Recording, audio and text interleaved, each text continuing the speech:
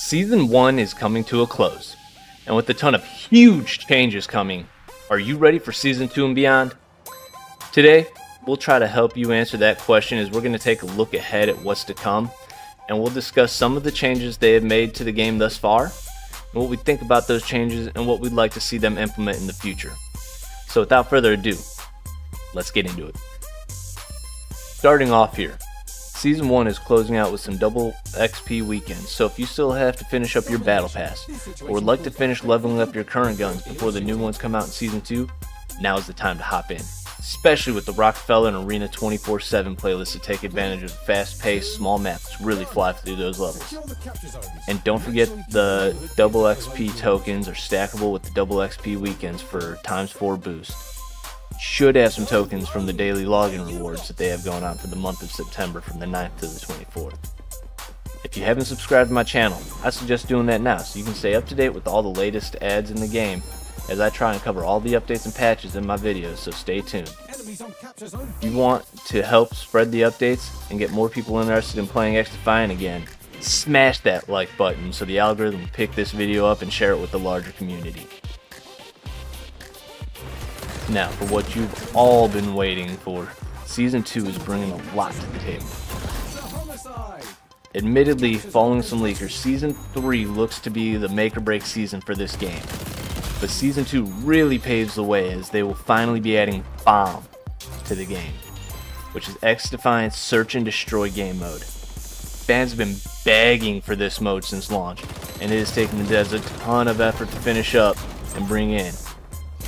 They build everything from this game from scratch, according to the devs. The first FPS game to be built on this engine.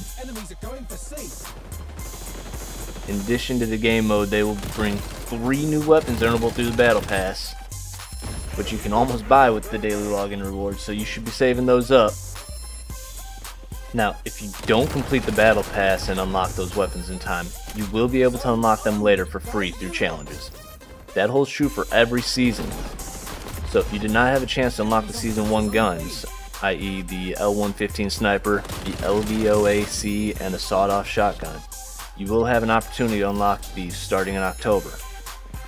There will also again be three new maps, one per month in Season 1, and they'll be mixed between the regular maps and the linear maps again. Also, we can't forget about the new faction, the Highwaymen.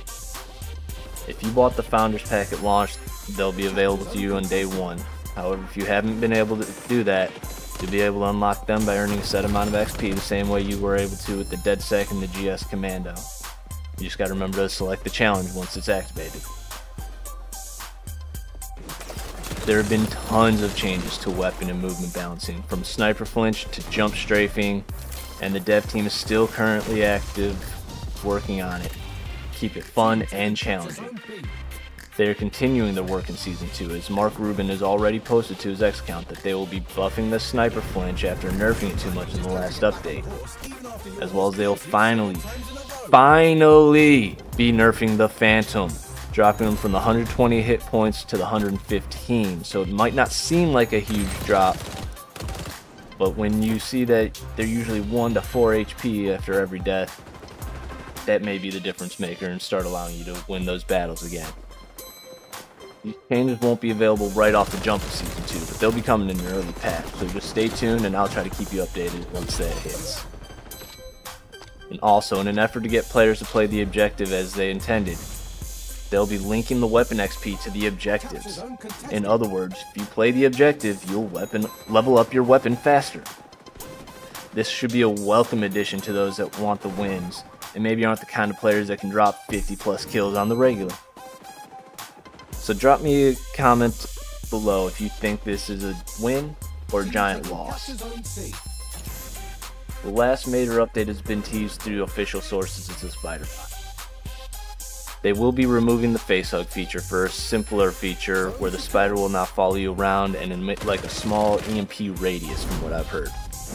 That should slow you down and make fighting harder, but not be as annoying as the spider jumping on your face and sometimes you can shoot it off, sometimes you can't. If your teammates just run right past you, you're just a sitting target. So this will give you a chance to fight, but still make it extremely difficult and give the spider bot the advantage.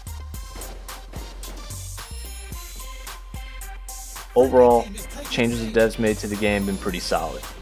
They've seemed to be well received within the community for the most part. There are a few dubs, like when they nerfed the sniper flinch a little too much in the last one. Now that thing just jumps straight to the sky as soon as you get hit. So if you aren't a pro sniper, they're almost impossible to use. So they're going to bring that back down, make it a little easier for the casual to use the snipers again.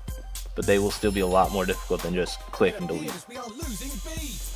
They also waited too long to nerf the Phantoms. I know that just pissed off a ton of people, and there's so many people that quit because they're tired of seeing Phantoms and Fire guys in every single match, and that seemed to be all anybody used. So that should be going down. You should see some more balance, but the Phantoms are still going to be pretty strong, so you're still going to see plenty of them. And let's not lie, the Spider Bot as a whole is kind of a dud for the first couple seasons here. Playing the last couple weeks though, the game feels much better. Everything feels way more consistent. Netcode does still have issues, but it's been better as they keep working on it, keep improving it. They're still continuously working on it. They haven't stopped. So they should hopefully be bringing more and more consistency with that as we keep moving ahead in the seasons here. With all that being said, we look ahead at what's to come. And if we look at the calendar, you see some holidays coming up like Halloween, Thanksgiving, Christmas. And we'll finally be getting some of the much needed events and limited time modes thanks to those. Help players that have otherwise started to leave the game because they got bored. There will be more to offer, more to bring them in. So we should hopefully be seeing player numbers rise a little bit again. These modes, plus the changes to the level systems, bringing in prestige for weapons, they're bringing in prestige for your main levels. Hopefully there's going to just be a ton of stuff to be grinding here as we keep moving forward in the future. And that is going to be absolutely huge. Is a very pivotal point for the survival of this game. A lot of people fear that it is on his last legs. Season 3 seems to be the one that, if they clutch, that is going to save the game. If they don't, we may just end up losing this game forever. I really hope we don't. There still is a good amount of players, and the game is so much fun. The movement crushes the movement of other games right now, so I hope to see it stay. As far as the Season 2 weapon masteries, they are only currently adding into the mix, and that will be at level 500. So I know that's going to be a bummer for people, but that should hopefully be showing that these other weapon prestiges should be coming up soon. And that's honestly where I would like to see the biggest change. I would, rather than just strictly weapon leveling, I would like to see the devs do some more. And we'll get into that in a little bit, but there's so many opportunities for player and weapon skins other than just leveling it up or purchasing. So we'll see what we can do. But right now it's only purchasing. You gotta level up to 100, 200, 300, 400, 500. I'd like to see them implement challenges similar to what you see in COD, right? Headshots, certain amount of kills with the X weapon, that type of stuff. That would all be huge. Ubisoft Connect already offers up coins, XP tokens, stuff like that whenever you complete weekly challenges. So I'd like to see them do more with the skins as well. Add that in, start adding in more stuff. Let me know what you guys would like to see the team add or change by dropping a comment below. Tell me what you think they need to do to keep the game alive. Personally, I'm excited for the future of this game. I'm going to continue to play it. I'm going to continue to make videos. I'm going to continue to try to keep you guys up to date with all the latest updates and patch news. So if you haven't hit that follow button like I told you to earlier, go ahead and pop it now, and we'll catch you on the next one. Peace out, everybody.